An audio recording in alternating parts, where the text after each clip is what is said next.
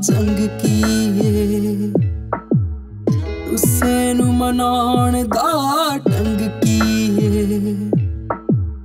ਪਾਣੀ ਨੂੰ ਵੀ ਸ਼ਾਂਤ ਕਰ ਸੁਣ ਲਾਂਗਾ। ਅੱਖਾਂ ਦੇ ਨੀਰ ਦਾ ਰੰਗ ਕੀਏ। ਬਦਲਾਂ ਦੇ ਕਾਲ ਜੇ ਤੂੰ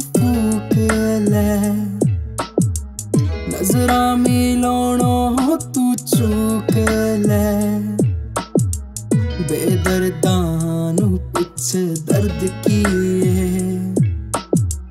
ਪਹਾੜਾਂ ਨੂੰ ਪੁੱਛ ਸਰਦ ਕੀ ਕੀਏ।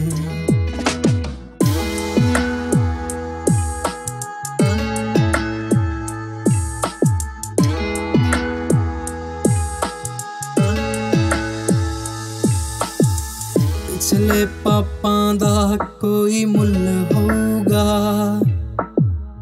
ਜਿਹਦੇ ਚ ਡੁੱਬਿਆ ਮੇਰਾ ਕੁੱਲ ਹੋਊਗਾ। ਮੈਂ ਤਾਂ ਦਿਲ ਤੋੜਨ ਵਿੱਚ ਵੀ ਡਰਦਾ ਆਂ। ਸ਼ਰਿਆਮ ਤੋੜਿਆ ਤੂੰ ਕੋਈ ਫੁੱਲ ਹੋਊਗਾ। ਕਿੰਨੇ ਅੱਖਰਾਂ ਚ ਤੈਨੂੰ ਮੈਂ ਪਰਦਾ ਤੂੰ ਨਾ ਜਾਣੇ ਕੀ ਕੀ ਕੁਛ ਕਰਦਾ।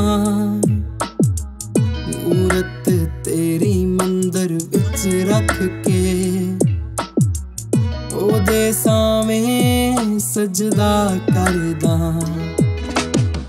ਗੁੱਸਾ ਹੋਇਆ ਫਿਰਦਾ ਜੰਗ ਕੀਏ। ਗੁੱਸੇ ਨੂੰ ਮਨਾਉਣ ਦਾ ਟੰਗ ਕੀਏ। ਕਦੋਂ ਤੱਕ ਆਕੜ ਚ ਰਹਿ ਲੇਗਾ। ਮੇਰੇ ਬਾਝੋਂ ਤੇਰੇ ਸੰਗ ਕੀ